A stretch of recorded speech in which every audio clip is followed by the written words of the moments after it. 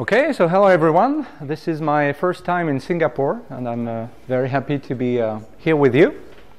Uh, I'm Guillaume Laforge. I work for uh, Google, uh, but I've been working on the, the Apache Groovy project for, for the past uh, 13 years now. a little bit less lately, but I, have been one of the key members of the project. I am also the PMC, that's the, the project management committee. I'm the chair of the PMC uh, at the Apache Foundation because the uh, the Groovy project uh, moved to the Apache Foundation. Uh, when was that? A year and a half ago, I think, uh, or before. Yeah, something like this. Oh no, two years now. I forget. Uh, so in my day job, I'm a developer advocate for Google Cloud Platform. Uh, so I speak about various things uh, like uh, I don't know Google App Engine, uh, machine learning APIs. That's what I, that's what I'm gonna cover uh, at Voxxed Days Singapore. Uh, but tonight I'm gonna speak about Groovy and in particular what's new in Groovy. what's new talk kind of expects people to have some knowledge of Groovy, but if you don't, that's okay. are you all Java developers? Everyone? Who's, al who's already got some experience with Groovy? Oh yeah, nice. And uh, I know at PayPal as well, there were there's some places there are some places where Groovy is being used, uh, if I recall correctly, uh, but I, I, don't remember the details. All right. So uh, in Groovy we have uh, what we call AST transformations. That's code transformations. Uh, which allow you to uh, implement existing design patterns with just the use of an annotation or create some boilerplate code with uh, such annotations. So for example, uh, we have, uh, so we, you know, it, it, looks just like normal Java annotations. we have annotations for generating a toString method or equals an hash code or uh, at immutable, which creates an immutable class with everything uh, that's needed. Uh, the um, like making the fields private, uh, like creating proper equals and hash code, etc. All the things that are required to make something immutable, uh, so that you cannot change the, the values of its attributes, etc. And we also have a code transformation called canonical, which is a bit like immutable, but it's we, we could have called it uh, mutable in a way. Uh, so it's adding things like toString uh, methods, uh, equals and hashcode methods, uh, various constructors for depending on the the properties of that class. So it's going to add a person string name int age constructor, but also a person string name constructor and a default constructor. Uh, and yeah, uh, and you, you can see, for example, when I call the toString uh, method down there, this is the uh, the, uh, the, the toString that is generated instead of the usual uh, Java toString. And here I'm using the include names parameter, which actually adds the the name of the properties in the toString. so so this is this canonical transformation.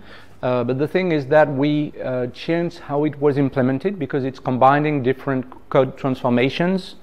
Uh, before it was kind of a hack of how it combined things together, but there's a mechanism called meta annotations in Groovy, which allows uh, bundling, you know, somehow uh, code transformations or annotations together. Uh, what's interesting as well with meta annotations is that it's a compile time feature. So for example, you can create a meta annotation that groups uh, different annotations together. So let's say you have a, a, a what, what, example could I could I take like a at business something uh, annotation that could combine uh, at uh, data object plus at uh, uh, various annotations that are grouped together, and you could just simplify that with just one annotation, your own business annotation. Uh, and that's, uh, that's pretty handy. So that's the mechanism that we used to combine add to string, add equals and hashcode, etc. together. And Canonical now uses that mechanism. And uh, in particular, this uh, include names uh, parameter that is passed to that annotation uh, is actually delegated to the under, underlying uh, toString uh, tr transformation. So it does the delegation of the the properties, the, uh, not the properties, the, the parameters of the annotations. So this, uh, you, do, you don't need to read that uh, carefully. That's the, the documentation uh, that we have. And the, there's what we call an annotation collector, which collects the various annotations together. Uh, and there are there's also more control on the kind of uh, how do you delegate to include names? Who, uh, for example, you could have two annotations with the same parameter potentially. So there's even more control on how you combine annotations or code transformations together. So these are the, the five modes which are available. so uh, we have, uh, like in at canonical, at immutable transformations, we also have a bundle within those transformations. We have tuple constructor, which creates uh, a new person uh, first uh, constructor. And here what's new is the fact that we have uh, added some pre-post hooks or events so that you can do some additional checks. Uh, so since the constructors are actually generated by the Groovy compiler directly, if you want to add some stuff in the constructor instead of re-implementing the constructor yourself, uh, because it would be uh, the one uh, used and not the one generated. So if there's one that you provide, it's the one that's uh, used. We don't generate one. But then if you want to do some additional checks, for example, uh, making sure that the, the first name is always lowercase or uh, ensuring that you actually pass a, a non-null or non-empty first name, you can add such checks. So these are new things. Um, the tuple constructor, which generates the constructor, usually generates uh, those uh, four constructors. So here you have three properties, first, last, and age. So there's this first constructor which takes all the uh, properties. There's another one which takes just the, the, the, the, first uh, parameters, one which takes just the first name, and there's one, a default constructor, which takes nothing. But sometimes you want to be to have more control and you can pass uh, defaults equals true to just generate the one which takes all the parameters so, so that you're sure that uh, someone calls that constructor with all the, the parameters. Well, people could always you know, pass null values, obviously, uh, but at least you're sure that someone will pass a value for each uh, of the properties. And also, perhaps for those who uh, know Groovy a little bit less, uh, so there's no public keyword on class, so it's not public class because by default classes are public in Groovy. Uh, when you see string first, last, or int age, these are properties. So it's just like uh, Java Beans. Uh, there's actually a private field that is created plus a getter and a setter. So it's just a shortcut for having a get first, set first, and a private string first uh, field. That's how it works. So it's a little refinement. Um, similarly to tuple constructor, so we have what we call the, the map constructor, uh, which is the ability to pass uh, instead instead of passing just the values directly, Dierk, Koenig, Regina, uh, to the the three uh, First, uh, oh, there's no, oh yeah, author is uh, below, which adds the, the book name. So what we call the, the map constructor, it's the, the ability to actually give a name, on reuse actually the name of the properties, uh, to be able to uh, recognize the various uh, elements of the, the, the various parameters of the constructor. Uh, so this is the, the map constructor and we're also adding the same mechanism uh, with pre and post uh, events.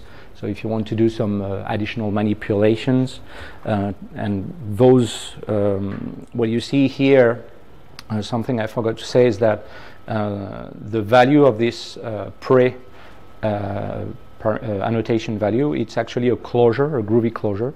So it's code that's going to be integrated into the implementation of your constructor done by the Groovy compiler. Um, so Groovy uh, initially at least was created as a dynamic language. So things like the method dispatch decided which method should be called uh, was done at runtime, but we also added uh, several years ago uh, static type checker and static compiler. So it's possible to generate pretty much the same bytecode as javac, the javac compiler does, uh, which means that Groovy is just as fast as Java if you use the, the static compilation uh, feature. Uh, but the thing is, there are still things like uh, code transformations here, autoclone, which adds clone cloning capabilities to, to your class. Uh, here, there's a there's a typo. Notice that. Uh, so I wanted to exclude from the the cloning operation. Uh, I wanted to exclude the, the surname, but I did a, a typo, and it's sir instead of I in, instead of you. And before, uh, this error would have been caught only at runtime, uh, and you wouldn't, you know, or so I don't remember if we generated a, a runtime exception or uh, since the property wasn't found, uh, it wouldn't uh, do anything about surname. I forget what it was doing, but at least the behavior was wrong anyway. So what we do now is that if you also make typos like this uh, in the parameters of the annotation, the compiler actually throw the compile time error, uh, unlike what we were doing before. So here, yeah, you'd get uh, in the, so I don't know what's the exception we throw. Um, yeah, it's a, a compilation exception. Uh, and then it's the, the error message says error during autoclone processing excludes property surname doesn't exist. I, men I mentioned uh, at immutable for creating uh, immutable classes. Uh, the thing with immutable was that it wouldn't it wouldn't work on a hierarchy of classes. So it, it, it was you could only put at immutable on a top level class, a class just extending object basically. Um, so for example here I have a person class with a, an equals and hashcode method, doesn't matter much. Uh, but then I want to have an athlete which extends person. Before that wasn't allowed but now it's possible to do so. So here I'm also customizing things like uh, uh, what I do in the constructor, um, if equals an hashcode should call the super equals an hashcode from uh, the parent class, the person class. And then, uh, yeah, it's just a bunch of asserts uh, checking that it does what uh, we expect it to do. Like, so we include the super properties and not just the ones defined here. So we include sport but name as well. And uh, so in toString when we in the customization we do, so we also include the super properties so that there's both sport and name that appear here. So now immutable works across class hierarchies as well. Uh, with uh, Java 8, oh by the way, who's using Java 8? Are there still people stuck on Java 7 or before or B? Yeah, some? Okay. Unfortunately, I'm sorry for you.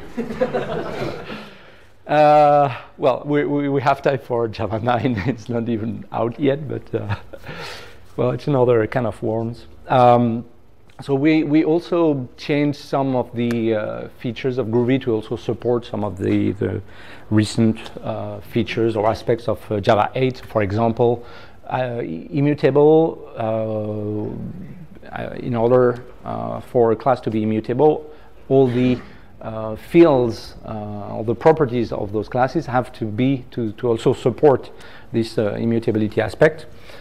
So there's only certain classes or you know like numbers, like strings, etc., which can be considered immutable.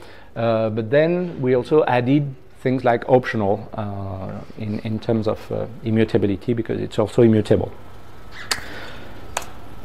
Yes, and uh, we the, the compiler also checks, uh, so it's not just the fact of using optional, but the, the, the how, how do we call the, the class on which uh, that you wrap in, the, in an optional. Uh, I don't know if it's got a particular name. we also check that date here is or isn't uh, immutable. And in this case, a date is a mutable object. So you're going to get a compilation exception because date is mutable. And we want something that's immutable. Uh, some new transformations. So I really start this uh, uh, all the new, the novelties with all the, the code transformations, and I'll move uh, later on to some other aspects like the the Java 8 features uh, that are coming up.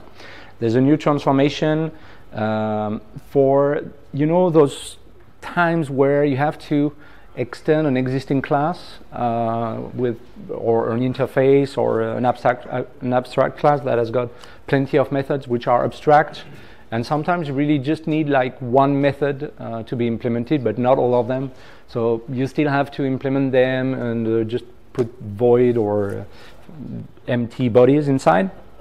So here uh, auto implement actually so that's kind of the, the code that's generated here.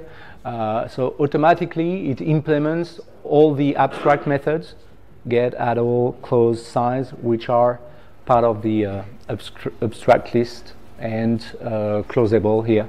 So it provides a, a, default implementation for those methods. So you don't have to write this boilerplate code yourself. And then if you have a particular need for customizing uh, the get method or something like that, just implement the get method, but you don't have to implement uh, the rest. So it can be handy also for you know testing purpose. Uh, if you want uh, some mm, kind of mock objects or such, and you just need a particular method to be implemented, um, you can have the implementation of the other methods that you don't care about to be implemented for you. Uh, you can also customize things like the exceptions which are thrown. Um, well, here you saw that there were no exceptions thrown, but you can say, okay, I want auto implement, but I want the body of those methods which are implemented to throw an exception. In this case, you can say, okay, I want an exception to be thrown, IO exception, or a particular exception with a message, or the last one, you can pass directly a bit of code in, inside a, a closure here. That's going to be uh, what's going to be used inside the, the implementation to throw a custom exception or things like that. Uh, there are, uh, as part of the, the Groovy distribution, there are a few command line tools that you can use. There's the Groovy console. The Groovy console, that's uh, this uh, tool here. So it's a kind of, uh, you know, just a, a little code editor uh, so you can you know run code and have syntax highlighting and so on. So it's a mini uh, text editor. So it's not really a you know an IDE. And we also have um, I can run it here. Groovysh. We also have a oh why is not isn't it working? Groovysh. Hmm. That's strange perhaps I'm not. Uh, yeah, I don't know why. I'll, I'll figure out. Uh, so Groovysh, it's our uh, REPL, our uh, shell that you can run uh, within uh, within a within a shell. And there's a useful feature in Groovy, which is the grab. Uh, it's a code transformation actually, as well. So it's add grab, and you define a dependency that you need in your uh, Groovy script or class and you can put add grab on things like imports. But for example, when you use a shell, you enter line by line, and there was no way to define an annotation, or you'd have to put everything on a single line or something like this. So there was really no way of adding uh, dependencies within your uh, shell, your Groovy shell. So there's a special command that you can use within Groovy shell to say, okay, I want to add the Guava dependency in my shell so that so that later on I can import some of the the classes from Guava. So you can uh, quickly try uh, some code in in the shell uh, that way. I forgot to put that back in plain screen. So I continue on the AST transformation. Uh, you can uh, add delegate. That's for doing delegation on uh, properties of the class. So usually you put add delegate on uh, uh, add delegate string name, but you couldn't put delegate on getters. Uh, but here, for example, um, so somehow it's a way to yeah just just do the, the delegations on getters if you want to do some particular treatment in the in the getter so that when I do the the uppercase uh, method which is going to call the toString method of the underlying property that it's delegated to. But since we put the add delegate on the getter, uh, it's going to actually return the reverse name instead of, uh, and then you call uh, to uppercase um, here, but it's going to get the name in reverse order instead of uh, in the normal order. Uh, yeah, this one not very interesting for those who are using JAXB for marshalling. There's a small shortcut.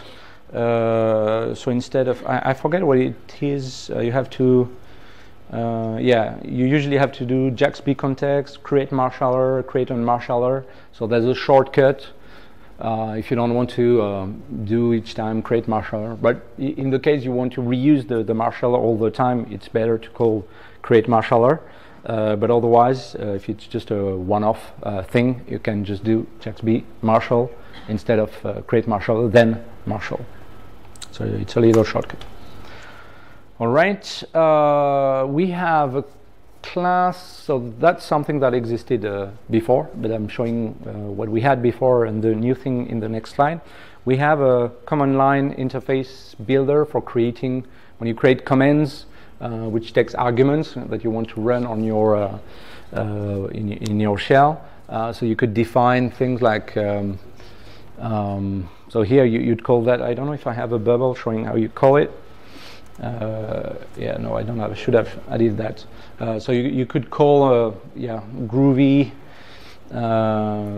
dash dash dash audience dash dash help etc. so that's helpful for creating command line tools. So this is the, the old way of doing things, but we also added uh, an annotation-driven approach so that you can just use an interface to say, okay, uh, I want to have dash H or da dash A uh, to. And, it, what's nice is that it's uh, um, strongly typed in the sense that you have a, an object uh, whose class is implementing the greeter interface here. Uh, which contains the, the parameters which are passed uh, on the command line. So it's, it's nice. Oh yeah, and I've got the, this example. So if you, if you pass those, this argument on the command line, you'll be able to call options.audience to actually get uh, what was passed as a flag on the command line. Um, tap, yeah so there's a new method. Um, so there's a with method in Groovy which allows you to chain calls on uh, on the current instance. So when I do new person, I've got a, an instance of person, and everything that I'm going to do inside that with a block of code, uh, it's like doing uh, person.name equals Guillaume, person.age equals 39, etc. But you don't have to repeat person dot person dot etc. Uh, and also the thing was that if you wanted to chain uh, something else, like calling the toString on that person, you had to return the current object within the, the block of code here. So you always had to have return it, which is the current instance we're working on, so that you could uh, basically this closure, uh, this method call with which takes a closure would return the actual person being uh, used here. And that way toString would work on that instance we created. But it was a bit cumbersome to have to uh, use return it and write return it explicitly, and you could forget uh, potentially. So we also have a tap uh, method, uh, which is just like with, but we, which always returns the this instance on which we're we're working on. So we, we're really you know tapping through uh, through it to to have a peek at that current uh, object we're working on. Well, I'll pass on that one, some additional miscellaneous uh, methods. then some, something scary, JSON, the JSON generator. uh, so the fact that Groovy is a dynamic language, uh, although you, you know, I, I, already told you that you can use static compilation, uh, but the fact that it's a dynamic language, you can uh, do some interesting clever stuff, how you can parse some uh, JSON content.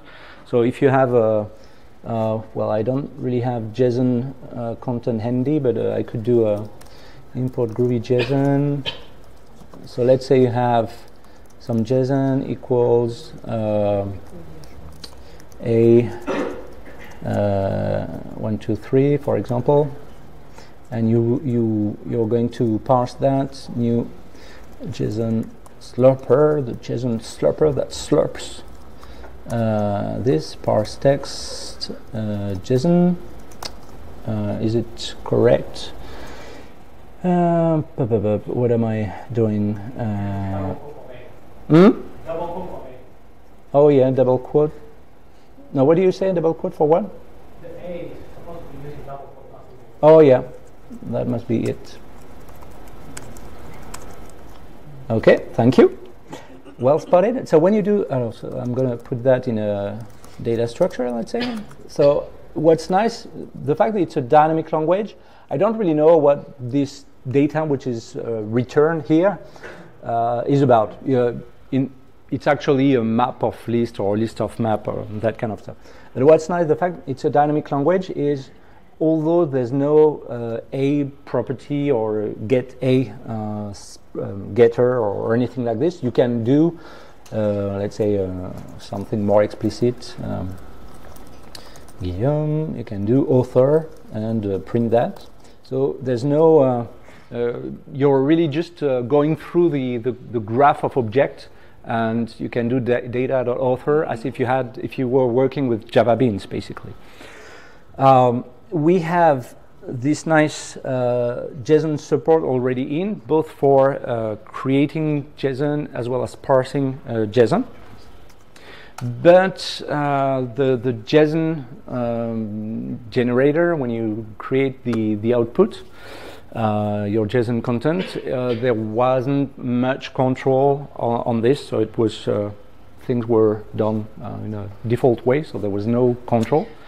Uh, instead, now we added a JSON generator, which allows you to have more control on how you're gonna uh, marshal, uh, for example, this person class into uh, JSON. For example, you can say, okay, I want to exclude nulls. If there are dates, uh, I want a special format. You can exclude fields, etc. So you, you can customize the, um, the, the, the JSON that you create. And also, uh, there's also the possibility of adding some converters for certain types or uh, if there's a key, so if it's uh, uh, just for the URL of uh, whose key uh, in the JSON object or in, in the um, the in the Pojo in the Java beans, so it might be only the one particular URL but not all of them. So you can say, okay, if it's for a particular key for favorite URL, then you do something. Although otherwise, it's the normal uh, normal serialization that happens. So you can do that. Up and the optional key, yeah. Uh, so yeah, you have even more control. Uh, also, something uh, I could mention is that the um, we um, benchmarked the the JSON support with uh, Jackson, uh, and we are usually faster than Jackson for both uh, parsing and serialization. But then if you really want more control, Jackson suddenly goes much further than our uh, JSON generator. So we spoke about AST transformations and some other things. Uh, I'd like to say a few words about a new feature, which is uh, AST macros. Uh, so to create AST or code uh, transformations, uh, you had to know the uh, API of the AST, that means abstract syntax tree. So when the compiler compiles your code, it's going to generate some kind of tree of nodes, of a class node, a method node, a property node, etc., code nodes, etc. Uh, but then it's a bit cumbersome to create code transformations. So we wanted to sim simplify things a bit. So here, uh, what my example is doing, it's going to add a method. I forget what my example is doing. So we want to add a new method to a class that would be annotated with the add method an annotation. so before, uh, to implement that transformation, we had to extend, um, we, we, still have to, but uh, I'll, I'll, I'll, say something. Uh, there's a new feature as well, which simplifies this even further. Uh, so for example, if you wanted to create a new method that returned uh, 42 all the time. You had to know. So th- this example is a is a bit. It's quite simple, but so we are going to add a get message that returns 42. A get message method that returns 42 all the time. So you have to know that uh, the body of the get message method has to have a return statement within which uh, there's a constant expression, etc. So you really have to know the API of, of how the nodes are, the AST nodes are built uh, together. There's a new thing, uh, which is this, so it's not much shorter, but for a more complex example, it can be much, much shorter. Uh, so there's this new macro shortcut, which takes a closure, and which is going to analyze uh, this code there to create the return statement which contains the constant expression, etc. And then you, it's going to return the yeah the return statement here. So you can just pass the body uh, simple. Uh, the code it should be. I think there's a mistake in my slide because uh, the the code that's the the code. Uh, so instead of simplest code, that should be code, or here it should be simplest code. I have to fix that. Uh, so again, just pass that to this uh, method node that is added to the class. So in this example, as I said, it's not much shorter, but for more complex method bodies, that's much, much easier because you really write the code that you want to be added in the body of that new method. Uh, so there are different, yeah, different variants. I can skip that. Let's have a look at a um, slightly more complex example. Let's say that you want to add uh, an MD5 uh, method for each of the uh, of the properties. Um, so let's see. So for for example, for all the fields that you have, uh, let's say I've got a, you know a, name uh, property. So I have get name, but then I want to add get name MD5. So for each properties of a class. I'm going to add get some uh, field uh, MD5 uh, and I just have to add so the, the, the annotation I'm creating it's MD5 and I just need to add that I should have I should show the example first perhaps because yeah so I don't show you the um, the example uh, but yeah so it's, it's really just about decorating so all the all the fields of the class uh, fields of type string. You put at MD5 on the string, on the, uh, on the type of that uh, property, and then automatically we're going to add a get, the name of the field, MD5 method. So how do I do that? With this uh, macro uh, feature, it's also possible to pass, because the code is not always static, but it depends on the surrounding context uh, there's a way to do variable substitution. So here, for each of uh, the fields that I'm going to find of type string, I want to actually uh, pass the, the, the, the actual uh, instance of that field so that, that, so that I can do the, uh, the MD5 operation. So return macro, macro is doing this, the, this job. And then here, instead of doing new uh, you know new uh, method call new uh, constant expression etc so imagine a big big uh, structure representing the nodes of the code it's gonna somehow parse this code and generate the AST nodes and then you can also have some surrounding context in, in, in um, influence what's going to do what we're going to do inside the, the body so it's, uh, yeah, it's a, a, bit complicated to explain, but for those who are um, implementing their own code transformation, it's going to simplify their, their lives. But it's, uh, yeah, far from trivial. Uh, what else? Yeah, sometimes, so uh, there's a macro class here which allows you to create, uh, because uh, earlier you saw that I created a method node that I added to the class, etc. but if you want to create uh, expressions like a method node, you couldn't do that. You couldn't just generate the code. So if you want to generate things like a class or methods directly, there's this macro class concept so that you can retrieve the method nodes or the class nodes, and then you can, here in my example, I can add the new method nodes to my uh, class. Oh, five minutes. I'm, uh, I'm really too slow on, on this. So uh, yeah, so I, I had some examples like this. Let's say you want to create a lock. Uh, so you want users to use that in their code, but really you want things to be implemented that way. Then this is how you can do it with uh, the, this new macro feature. Uh, I'll skip these ones and I'll, I'll show you this. Uh, so in um, there's a new parser, uh, a new grammar that's created uh, in Groovy to add support for uh, Java 8 features or new operators, etc. Because we had a very old parser, and we wanted to add new features, but the, the parser wasn't very capable. So we there's a nickname for that parser, which is a parrot, its name, uh, because it's uh, it's um, mimicking what the old parser does. So all the existing Java source, uh, Groovy source code uh, still compiles uh, and parses normally, but we add new, new features as well. So for example, Groovy didn't support the old do while loop, so we added it back. So nothing special fancy there. Or uh, array initializers. Uh, it was also another difference with Java. Uh, they weren't supported, so now we're we're adding those things back.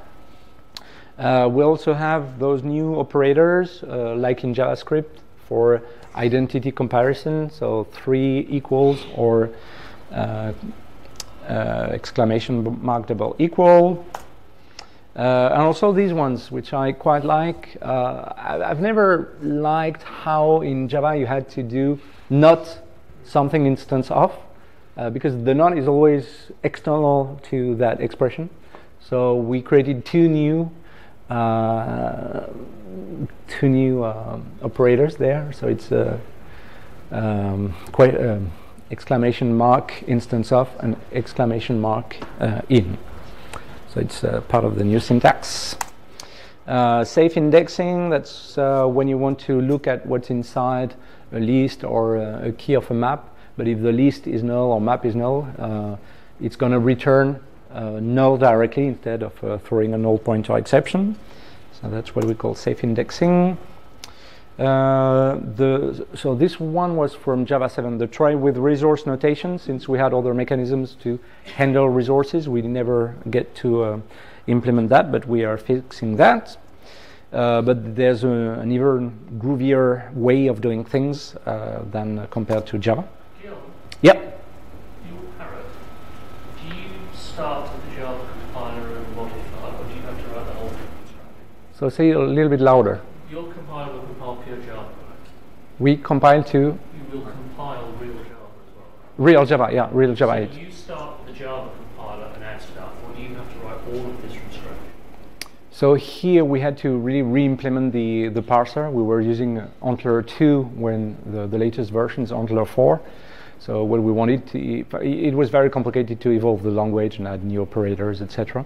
So we really completely rewrote the, the grammar, but still supporting the very exact same syntax, right? Don't start from the Java parser. And uh, well, we actually started with the Java 8 uh, grammar in, in, in the first place and re-added back the So you're Groovy features. any of the code from Java 8. No, no, no, no, no. Yeah. So it's really our own uh, our own stuff. Uh, trying with resources, so we also support the Java 8 Lambda uh, notations, except that we have some uh, additional tweaks, like, uh, for example, the uh, the the return keyword is uh, implicit. Although if you used curly braces here in Java, you would have to explicitly use the return keyword. But some nice thing there is that we support default arguments, just like in Groovy closures. So it's something where we go a little bit beyond Java 8 lambdas. We also support method references. So when you have the double um, uh, columns there, so static methods, instance methods, uh, and also uh, instance references, or I don't know how we call them. So we will support well, just just like Java 8 basically. We also support the um, method reference on constructors as well with this uh, oops with this notation. And it works also for things like uh, arrays. Uh, yeah. And uh, what's special there? Yeah constructor references. Oh yeah this one. Uh, the Elvis operator uh, which allows you to do something like this. So if name is not null, uh, empty, etc., we're gonna this expression, just uh, this part, it's gonna return name. Otherwise, it's gonna return a default value. Uh, so it's called the Elvis operator because it looks like the Elvis uh, smiley. Well, we we never managed to find a, a good name for that, so we we called it Elvis. But then, if you wanted to do an assignment, you had to do name equals and name blah blah blah use the Elvis operator. So we decided to create a shortcut notation for this assignment. And that we call the Elvis assignment, obviously. So you can just do uh, question mark equals, and that's uh, very, it's totally equivalent to, um, to that, of course. So that's uh, pretty handy. And uh, in other languages like Ruby or JavaScript, there are, uh, not in JavaScript, but at least in Ruby, there was an equivalent operator uh, for, for doing that. And I'll finish with that. Uh, things like the, the, the, Javadoc comments before, they were not kept in the uh, AST. So for um, code transformations, you couldn't access uh, what was part of the um, uh, of the Javadoc command. So we added that. So you, you get access to uh, that. And there's also a special annotation if you want to get, uh, if you want the Groovy compiler to actually store the content of the the, the Javadoc uh, in, in, the, uh, in the class file so that it's available via reflections. But via reflection, you can get the Javadoc as well if it's annotated inside with at. And that's it. So sorry for rushing the, the end. So it's been a long road in the sense that uh, Groovy was first announced in uh, 2003, and I've been involved uh, in that project since uh, 2003. Uh, so it's been a long road. Uh, it's um, project very, uh, um, very active with a lively community, and just just the day before, I did, did some stats on things like download numbers, and even just for the first four months of the year, we, we have already had uh, more than 12 million downloads of Groovy across the, the various versions just since the beginning of the year. Uh, and last year, for the whole year, we had 23, I think, 23 million downloads. So it's uh, a pretty significant number, uh, and uh, it's really used in uh, tons and tons of various contexts. But as always, uh, uh, speaking about open source, we always welcome contributions. So if ever you want to uh, uh get involved in, in this uh, project, don't hesitate uh, to, to give a hand and, and help us. And that's it. Thanks a lot for your attention.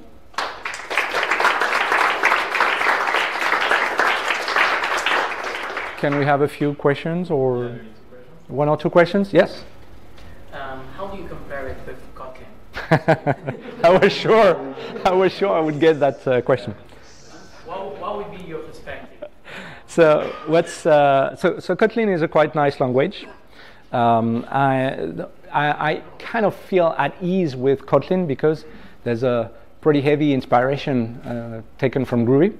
For, for example, the closure, that's the closure notation of Groovy. Uh, it's got the it default parameter. Well, there, there are many um, shortcuts or notation aspects which are uh, heavily inspired by, uh, by Groovy in Kotlin. Uh, and the other big inspiration is also, it's, it's, kind of a mix of Scala plus Groovy basically. Uh, except that uh, decided to only go with a static uh, compilation and not with a, a, dynamic aspect. So for things like um, our nice JSON support or XML support, etc., which take advantage of dynamic aspects of the language. So you don't have such things, for example, in, in Kotlin. Uh, but otherwise, no, it's a, it's a totally, totally fine language. Uh, I guess with the, um, the fact that uh, Google, my own company, decided to go with Kotlin for uh, adding Kotlin uh, as a new option for Android developers, uh, I'm pretty sure we're going to see a big adoption for Kotlin pretty soon. Um, but uh, interestingly, when uh, the Android team decided to use Gradle, the Gradle build tool, which is using Groovy for its uh, build uh, DSL, its build syntax, uh, we also saw a, a, nice, although it was kind of indirect. We, we also saw a nice increase in Groovy popularity thanks to thanks to that. So I'm, I'm sure Kotlin we will see a nice big. Uh, will, will it be just for Android development? Will it spread outside for the server side, etc.? I don't know. We'll see. But uh, it's a it's a nice language as well. Yeah. Any other question? One more? Yes. How do you ensure your new parser parses all the old out there in the wild? so we're uh, so it's been available for a little while, but not in a released version. So we've encouraged people tons of times. Uh, please test with the new parser, test with the new parser, so that we ensure that it works. Uh, of course, we also parse our own source code. All the Groovy code in the Groovy code base, we also parse it, and it works out of the box. We also parse. Um, the, the Grails web framework. I forget what the other projects are. Uh, I think Gradle as well, uh, plus some some other projects. Uh, Ratpack probably, yeah. Uh, so we ensure uh, that at least uh, some of the key um, Groovy users, open source projects using Groovy, also work well with the new parser. So we are highly confident that it's going to parse uh, every, pretty much every 99.9% of uh, Groovy code in the wild. Because you use WannaCry to find every Groovy file. we can do that. but yeah, we are pretty confident. So the we even went as far as checking that the so it's not just about the syntax, but also the, uh, the AST nodes, uh, the, the structure that is actually parsed. Uh, because uh, in terms of, uh, um, even if it's the same bytecode which is generated, there are sometimes different ways of representing the code in the form of an abstract syntax tree. So we not only check that the syntax is the same, but also that the structure of the code uh, generated by the compiler before it creates the bytecode is also actually the same. Yeah. All right, thanks.